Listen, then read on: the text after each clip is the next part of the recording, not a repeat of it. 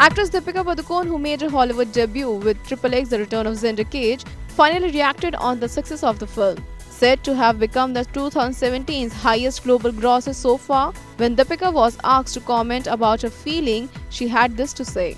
Yes, of course. Um, I think anything that you, sorry, anything that you put your heart and soul into, when you see the results, when you see how it's, for me, I think what was uh, heartening and what really got me emotional was the way India embraced the film.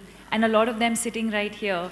Um, I think just the way everyone embraced the film, everyone, uh, in the way I think that uh, maybe my performance or the, even the fact that maybe the way I spoke in the film, I think all of those things were very well received. And I think that makes me really happy because to step out of your comfort zone and to work in a territory that you're absolutely unfamiliar with, um, and not knowing what the end result might be, but then to actually see that translate into this kind of love and appreciation, it makes me feel like it's worth taking all of those risks.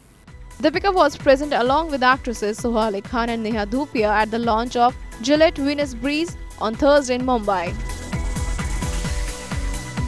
Also starring Hollywood fame Vin Diesel, Triple X The Return of Xander Cage has resulted in a $308 million and still counting global cumulative figure.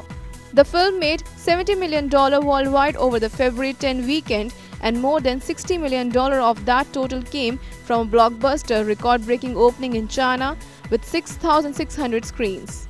On the work front, the Deepika will next be seen in Sanjay Leela Bhansali directorial Padmavati, which also stars Ranveer Singh and Shahid Kapoor.